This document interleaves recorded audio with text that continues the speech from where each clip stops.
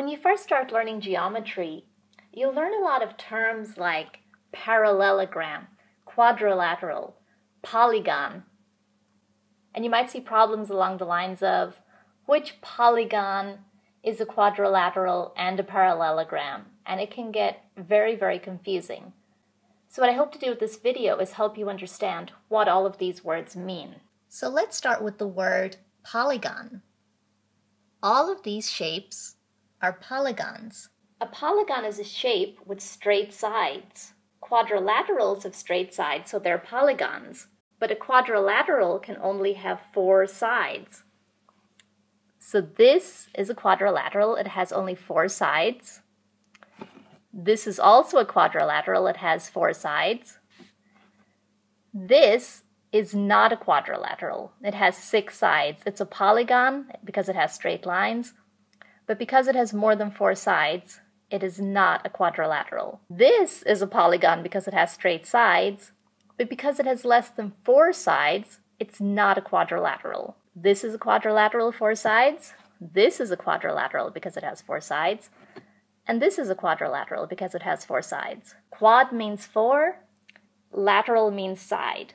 So a quadrilateral can only have four sides. Some quadrilaterals are parallelograms, some aren't. If a shape has four straight sides and both pairs of sides are parallel, that shape is a parallelogram.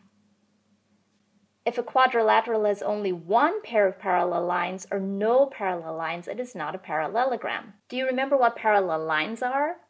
Parallel lines are lines that are always the same distance apart and will never meet. So in this square, all of these lines are parallel. They're always the same distance apart and they'll never ever meet. So this has got two pairs of parallel lines, two here and two here.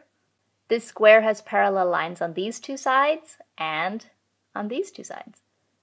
So this is a parallelogram. This is a parallelogram because these lines that are opposite are parallel to each other and these lines that are opposite are parallel to each other. This is a trapezoid. This is not a parallelogram.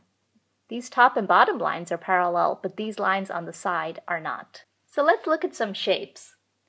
A trapezoid is a polygon because it has straight sides. It's a quadrilateral because it has four sides.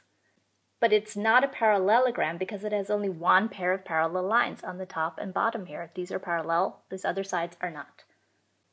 And here's something else confusing.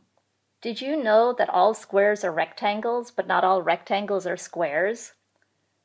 A rectangle is a shape with four straight sides where all interior angles are right angles.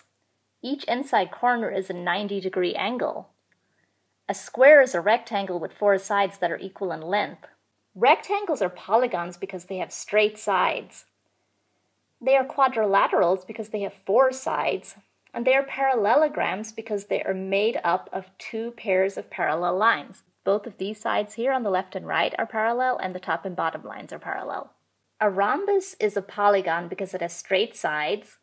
It's a quadrilateral because it has four sides. And it's a parallelogram because its opposite sides run parallel to each other.